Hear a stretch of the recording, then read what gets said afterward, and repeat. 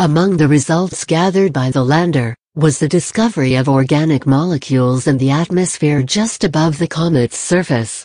This find could indicate that the building blocks of life from which we are all based were originally brought to the Earth by comets much like this one. It also give evidence that life could exist on other worlds, or even comets. Data collected by Philae's Sesame experiment suite support MUPUS results indicating the comet's unexpected toughness.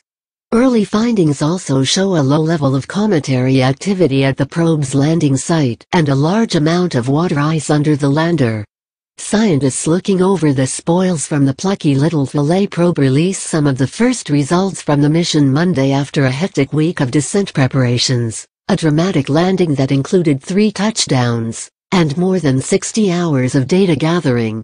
We have collected a great deal of valuable data, which could only have been acquired through direct contact with the comet, said Ekkehard Kührt, scientific director for the Philae mission at DLR, the German space agency. Together with the measurements performed by the Rosetta orbiter, we are well on our way to achieving a greater understanding of comets. Their surface properties appear to be quite different than was previously thought.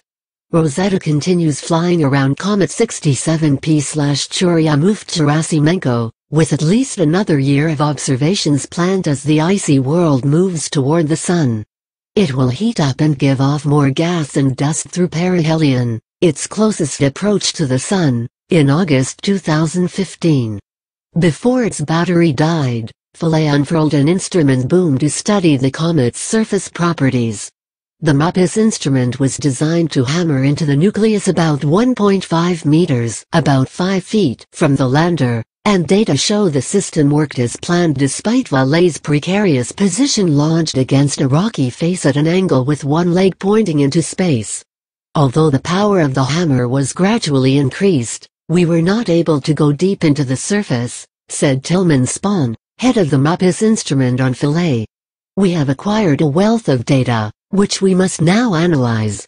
According to a DLR press release, the MUPUS team estimates the outer skin of the comet's nucleus, at least where Philae settled after its bouncy landing, is as hard as ice. With MUPUS it has been possible to directly study the strength of a comet's surface for the first time, and 67P-Churyumov-Gerasimenko proved to be a tough nut to crack, DLR said in a statement Monday. The MUPUS sensors were supposed to measure the comet's temperature, the mechanical properties of its surface, and its thermal conductivity.